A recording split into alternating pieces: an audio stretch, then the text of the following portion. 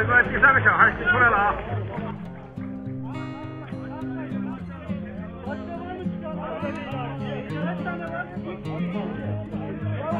牧羊救援队和这个土耳其当地的军方，我们一起救出了三个小孩。现在这里面可能还有两位大人，现在已经受伤了，所以我们现在有四名牧羊队队员，马上我们就会呃把他救出来了。他受伤了，要把他送到急救车，外面已经有急救车。好，就这样。